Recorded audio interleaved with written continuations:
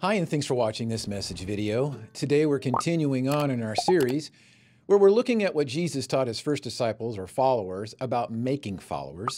And we're approaching it as if Jesus gave them a recipe with nine different ingredients in it before sending them out to reach the world. In fact, here's exactly what Jesus said to them Matthew 28 18 through 20. Then Jesus came to them and said, All power in heaven and on earth is given to me. So go and make followers of all people in the world. Baptize them in the name of the Father and the Son and the Holy Spirit. Teach them to obey everything that I have taught you, and I will be with you always, even until the end of this age. Now, when we look back on all of the things that Jesus taught these first followers or disciples prior to this moment, it would be easy to see that if there was a recipe, that the first ingredient required is faith. And believe it or not, a little bit of faith goes a long way, which is probably the reason why Jesus used a mustard seed as an illustration of faith when teaching his disciples about it. For instance, here's what he said Luke 17, 5 through 6. The apostles said to the Lord, Show us how to increase our faith. The Lord answered, If you had faith even as small as a mustard seed, you could say to this mulberry tree, May you be uprooted and be planted in the sea, and it would obey you. What Jesus was basically saying is that the recipe for making a follower doesn't require gobs and gobs of faith, like what most people think. All it requires is just a mustard seed size of faith.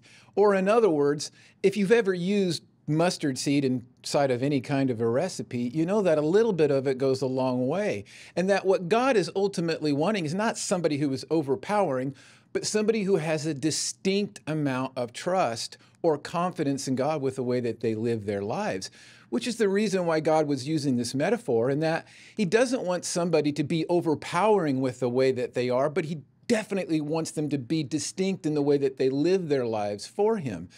This is why faith is so critical, and why the writer of the book of Hebrews tried to do a solid to God when explaining to everybody who was a Jew about the significance of faith. In fact, here's what he said Hebrews 11, 1 through 6. Faith means being sure of the things we hope for and knowing that something is real, even if we do not see it. Faith is the reason we remember great people who lived in the past. It is by faith we understand that the whole world was made by God's command, so what we see was made by something that cannot be seen. It was by faith that Abel offered God a better sacrifice than Cain did. God said he was pleased with the gifts Abel offered and called Abel a good man because of his faith. Abel died, but through his faith he is still speaking.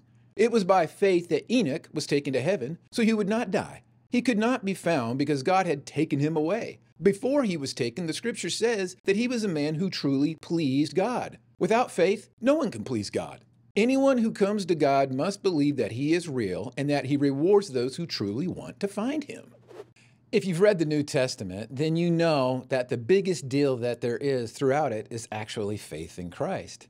And it's no secret that throughout the Old Testament, many of the Israelites struggled with faith. In fact, if you've read it, then you know that an entire generation was eliminated by God because their lack of faith was so displeasing to God. And ultimately, when it comes to the New Testament, this is a theme that is carried out through. In fact, the very first time that faith is even mentioned in the New Testament is when Jesus is scolding those who call themselves followers for not having it. In fact, here's what he said Matthew 6, 27 through 33. Can all your worries add a single moment to your life? And why worry about your clothing? Look at the lilies of the field and how they grow. They don't work or make their clothing, yet Solomon in all his glory was not dressed as beautifully as they are.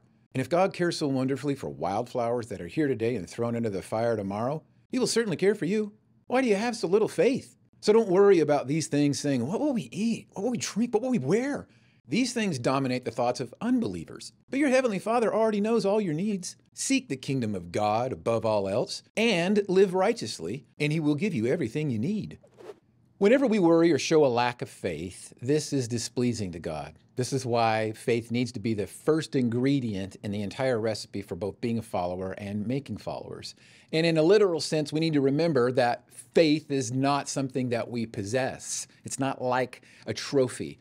Faith is more like a mindset. It's a, a, mental, cerebral way of thinking.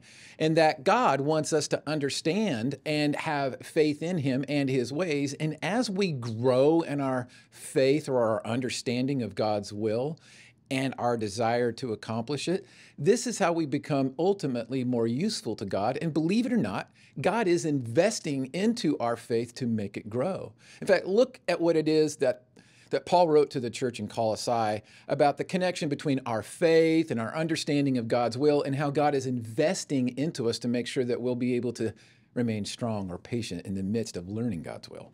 Colossians 1 3 through 14. In our prayers for you, we always thank God, the Father of our Lord Jesus Christ, because we have heard about the faith you have in Christ Jesus and the love you have for all of God's people. You have this faith and love because of your hope, and what you hope for is kept safe for you in heaven. You learned about this hope when you heard the message about the truth, the good news that was told to you. Everywhere in the world, that good news is bringing blessings and is growing. This has happened with you too, since you heard the good news and understood the truth about the grace of God. You learned about God's grace from Epaphras, whom we love. He works together with us and is a faithful servant of Christ for us. He also told us about the love you have from the Holy Spirit. Because of this, since the day we heard about you, we have continued praying for you, asking God that you will know fully what He wants. We pray that you will also have great wisdom and understanding in spiritual things, so that you will live the kind of life that honors and pleases the Lord in every way. You will produce fruit in every good work and grow in the knowledge of God. God will strengthen you with His own great power so that you will not give up when troubles come, but you will be patient. And you will joyfully give thanks to the Father who has made you able to have a share in all that He has prepared for His people in the kingdom of light. God has freed us from the power of darkness, and He brought us into the kingdom of His dear Son. The Son paid for our sins, and in Him we have forgiveness.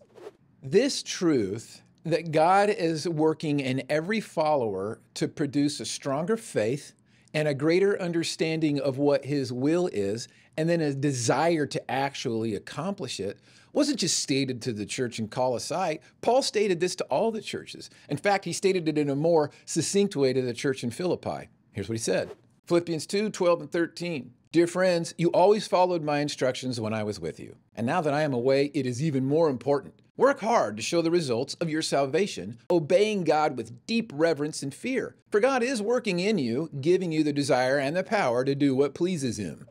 So, when it comes to being a follower of Christ or making followers of Christ, we have to remember or recognize that the number one ingredient has to be faith, because without faith, nothing is pleasing to God, and certainly God wants us to be pleasing to Him. And again, faith is not a thing, it's a mindset, it's a way we think. And so, when God is investing into us to develop our, our faith, we have to remember that this is primarily going to be a mental work, meaning God wants to change the way we think so that our faith in Him will be strong and our understanding of God's will will increase.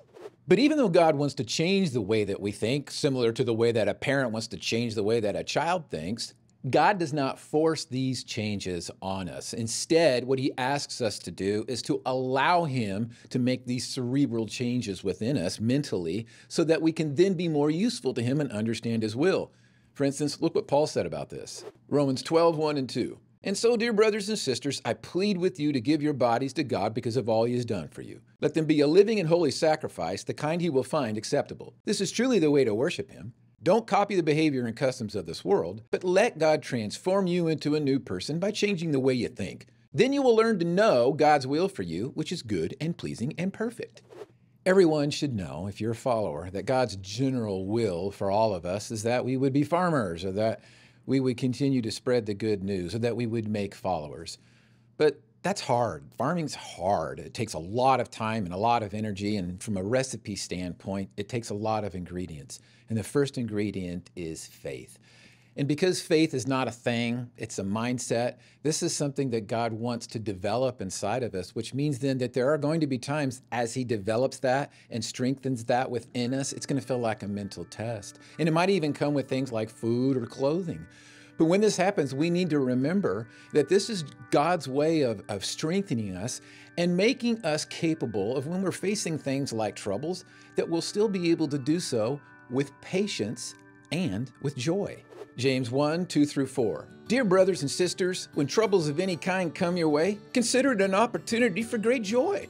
For you know that when your faith is tested, your endurance has a chance to grow. So let it grow. For when your endurance is fully developed, you will be perfect and complete, needing nothing.